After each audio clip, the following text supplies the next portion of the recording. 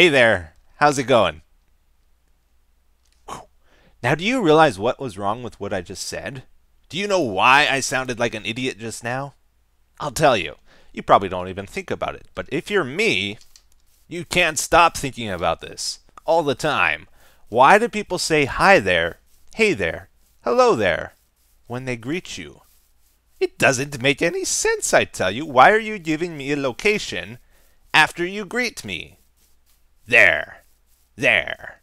And it's so unspecific, too. It's just there. My name isn't there. Why are you saying there after your greeting? I'm assuming, okay, let's assume it's short form for hello person over there. Okay. That's that makes the most sense at least, right? Even still, it's not like you point when you say hey there, hey person over there, pointing at that person. You kind of do with your eyes, I suppose. But generally, you say hey there when you're looking right at the guy two feet away from you, right? So why are you saying hey there? Hi there. Hello there. Say hey Etho or something like that. Makes a lot more sense.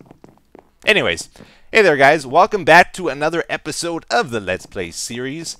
You know, it just occurred to me, I don't know if I tried this, what happens if you use a water bucket on a chorus fruit seed? Does it give you the seed? It doesn't. Okay. Darn. It's like, man, I bet you I could automate this farm now. No, you still don't get the seed. Oh, that's too bad.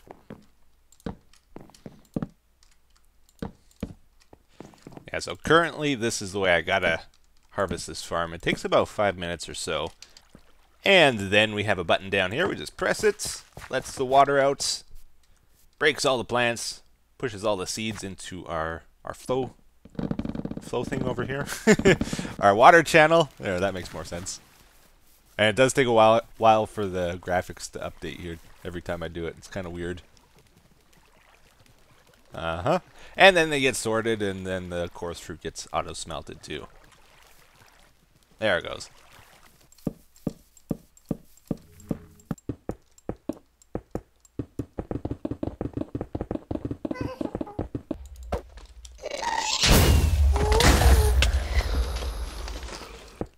Yeah, so basically I'm working on our ice road in the nether, guys. I want to extend it about 700 blocks, and then it's going to attach to that woodland mansion we found. And then we can bring back the, the Vindicators, the Johnnies, and there was a whole bunch of llamas in that area too. All right, so that was uh, that was a long time for me, but just moments for you guys. But we got the path done in the nether, and I'm going to start transporting these guys back home. I think we got to go this way. It's weird, like, the other day I was flying around looking for llamas to to do that firework thing with. I flew so far and like only found eight or so. There's over 50 in this mountain range. I'm sure of it. There's so many. It's unbelievable. Oh, all the mobs have spawned now. okay. There must not be many caves around here either. There's like 20 mobs up there. We gotta get them through the portal. There you go. Uh-oh, zombie went through. Okay, so now we find out if they're all gonna die as soon as we go through here. Are they stuck in the portal frame? Like horses always get. Oh, oh, I think maybe a few of them? No, they're okay, they're okay. Oh man, there's a lot of them. Alright guys, come on. Okay, here we go, here we go, here we go. This is the scary part. I didn't have enough purpur blocks. There wasn't enough, I tell ya. They seem fine, though.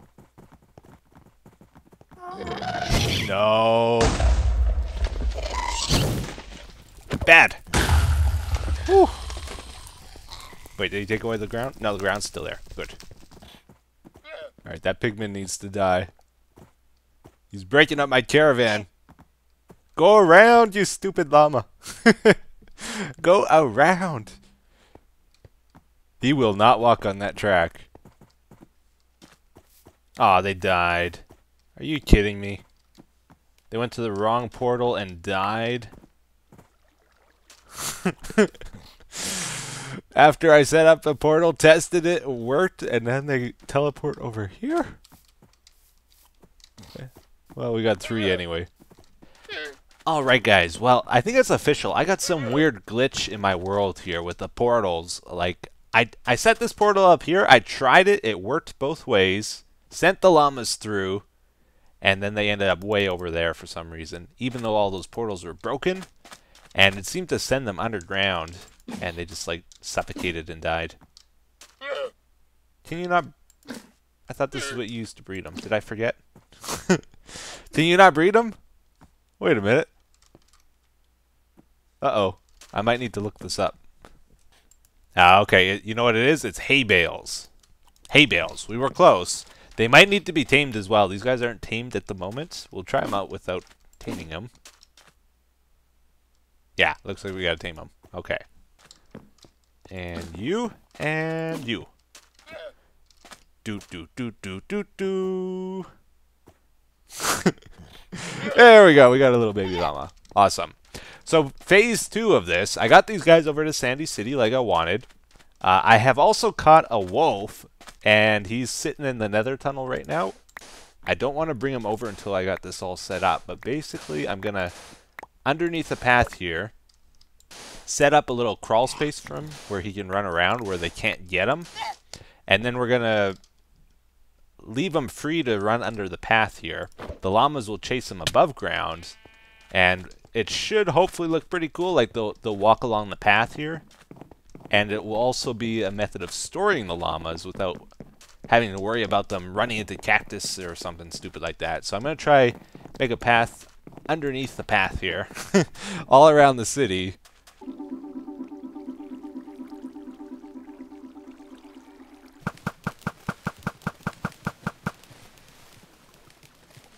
All right, very good, very good. So we got that all set up. Now we're ready to move our dog into place here. This is a cool trick, by the way. If you have a mob in a boat, and you know sometimes when you try to get them out, you, you whack the boat and it hits the animal instead. This is like a safe way of doing it. Just use a lead, pulls them right out.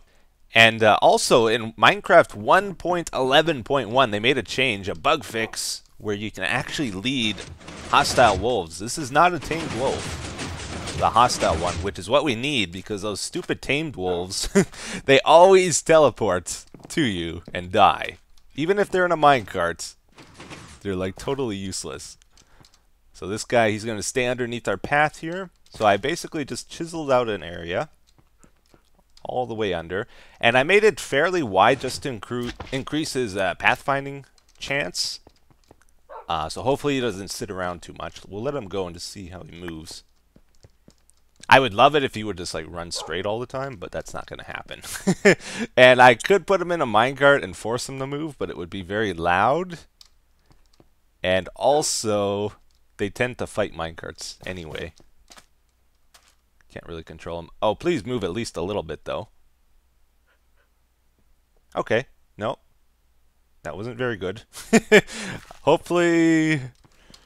Hopefully he moves a fair bit. We might might need that minecart, though. Oh, I heard the wolf. Alright, we'll let them go.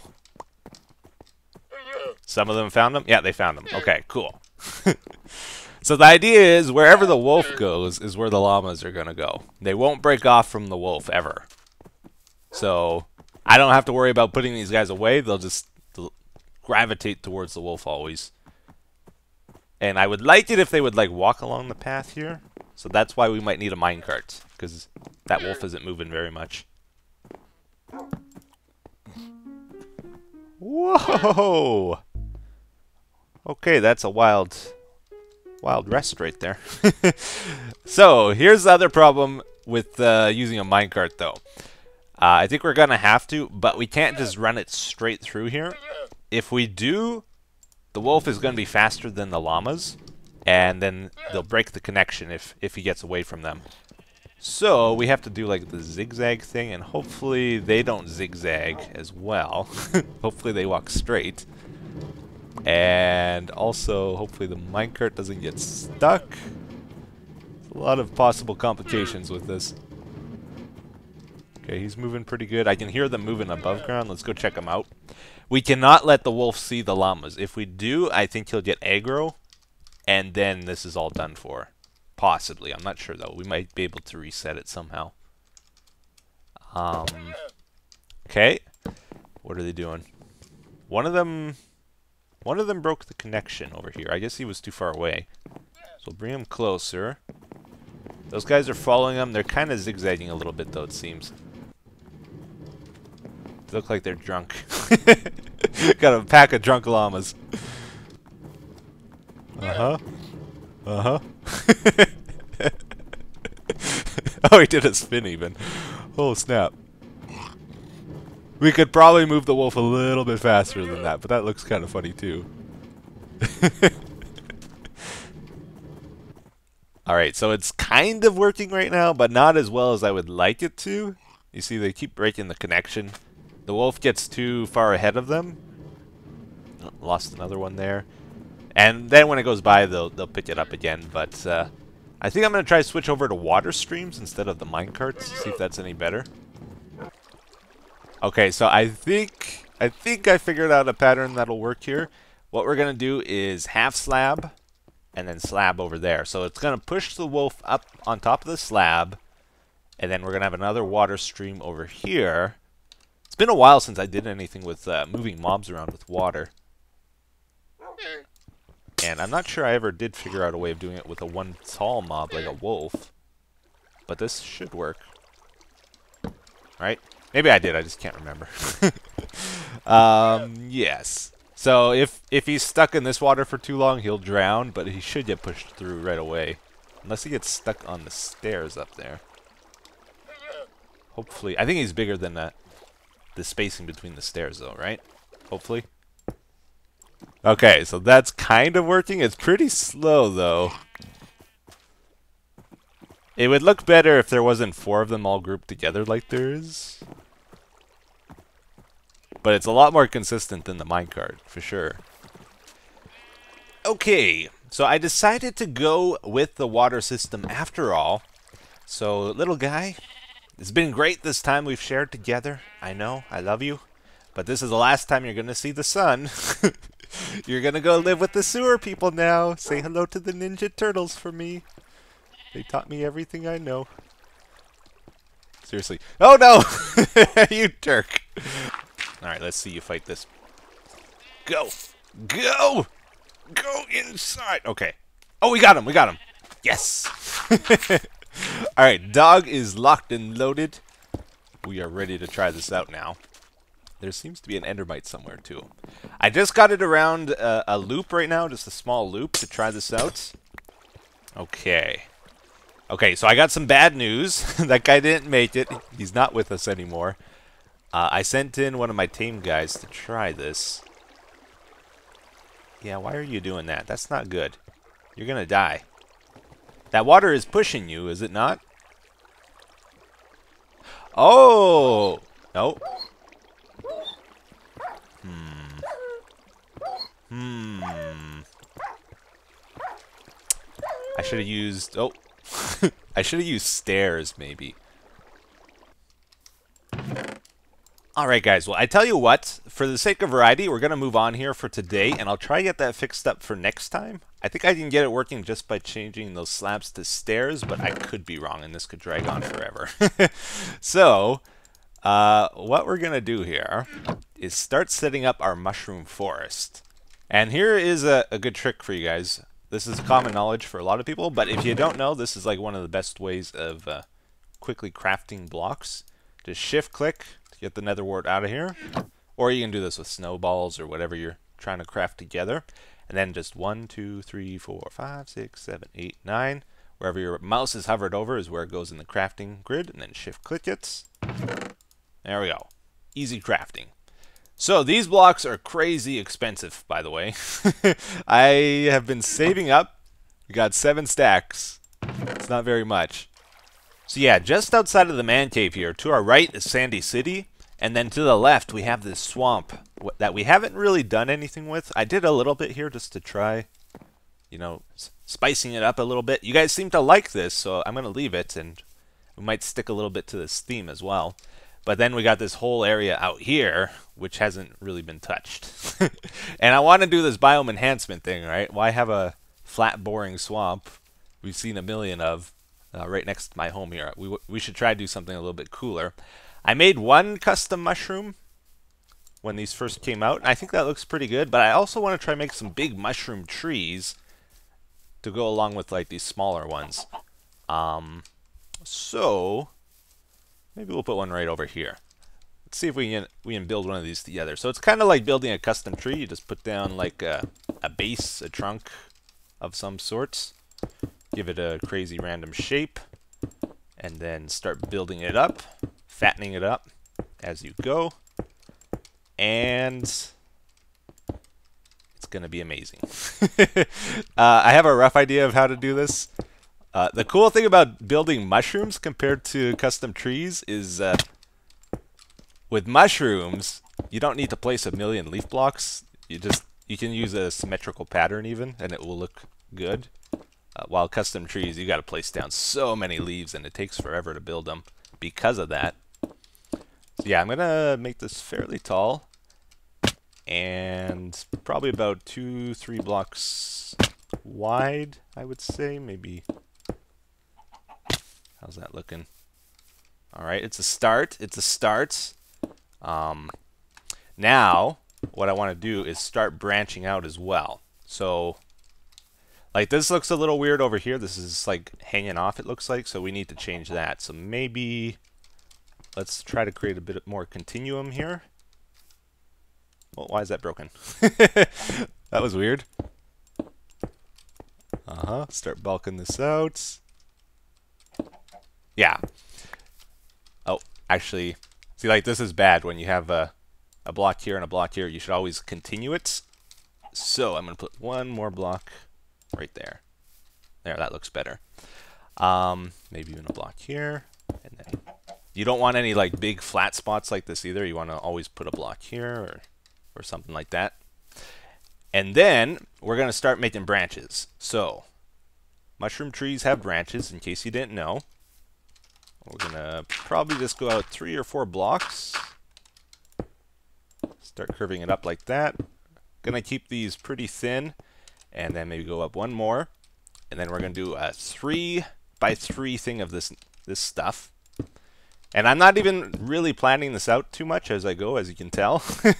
but I think it's going to look pretty good. I tried making some of these in creative, and uh, it was very easy. And, and each one only took like five, ten minutes. So I'm pretty excited about this. Okay. Another trick I, have seen people do is they grow jungle trees and then they replace all the leaves with uh, with these nether wart blocks and then the the trunk of the tree they replace with bone and that looks pretty good too but you can't really do that in survival because the tree will start dying as you start replacing the blocks. Yeah, that's what I want to do, just like that. Probably have like two of those, two or three of those branches on each of these mushroom trees sticking out. So then we'll probably put one a little bit higher up and maybe one more and then a big cap on the top. Yeah, so I'm trying to give this main trunk a little bit of character so you can see it kind of curves out to the right and then it's starting to curve back and I think that looks pretty cool. And wherever you can take advantage of the, the depth of it, uh, try to. So you can see it like goes in over there and, and over there and it's out over here. It's not like a big flat thing. Uh, on this other side though, we got a bit of a flat thing going on, right? So you got to try try to break that up wherever you can. Uh, where does it make most sense? So it's it's thin here, so maybe we we bolt it up here. All right. Yeah, I think that'll look good. Nope, it needs more. If you just have like little things like that, sometimes they look weird too. Um, we could try to maybe do that. Awesome. So I'm pretty happy with that for the trunk. I think that looks good, nice and organic. Uh, looks good from most angles as well. You always want to take a look around and just double check. This angle maybe not as nice, but you know you don't want to get too crazy overboard or you'll spend forever on this kind of stuff. Um, so now we got to add maybe two more branches and the, the cap on the top, and it's done, I would say. So the main trunk goes off to the right, curves to the right, and then we have a little branch. Um, so it's kind of going up, and then it starts curving to the left. So I think we should put another branch over there. It's kind of how plants grow if you ever like look at them and study them. Um, if the main branch curves, or if it grows a branch, then the main branch kind of curves away from the branch it just grew uh, for a lot of plants. Okay, so maybe we don't want to just do it straight either. We want to have a bit of variety to it. Um, it won't look as good as if we do it straight, but our eyes will kind of correct for the, the odd shape, I think. And then maybe we'll go over here. Yeah, there we go. I think that looks pretty good. That's the one we did together. And it comes out two blocks uh, forward compared to this one. We also never want to have them on the same height level, so it's also two blocks higher up. And just creates a staggered effect. It looks good that way, I think. I added one more on the back here. Maybe not so good. it looks weird. It just comes straight out. Maybe let's add one more bone block right there. Does that help it? It looks. It needs to look structurally supported. Uh, yeah, that would work. Except now it looks weird over there. You see, we have that block and that block on the same height. We always want to stagger things if we can, and we definitely can here. So maybe we'll go up two. And should we take that out? Let's take that out, fix that. Okay, so then at the top of the trunk, we're going to do the big mushroom cap on, on the very tippy top. we're going to do pretty much the same shape, except uh, we'll make it come out on the sides here. Make it a little bit bigger than the, the little ones. And then we're going to do two rings down from that. So come out one block and one block down. Like this. Uh, yeah, kind of keep that shape. And then come out one more after that like that.